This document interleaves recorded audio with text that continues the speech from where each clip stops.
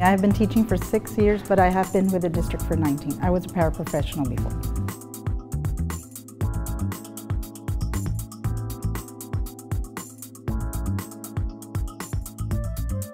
I was shocked because I hold the teachers at my school at a very high esteem and so it was an honor to be selected by them.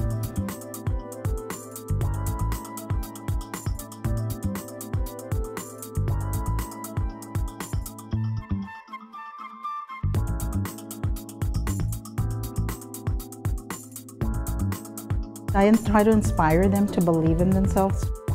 I always tell them, when you grow up as a person, you want to be the best person that you can be, even when nobody is watching. So I want to inspire you to not only just the education, but to do something with yourself where you're not going to beg, borrow, or steal. And if you're a good person, that's all that matters.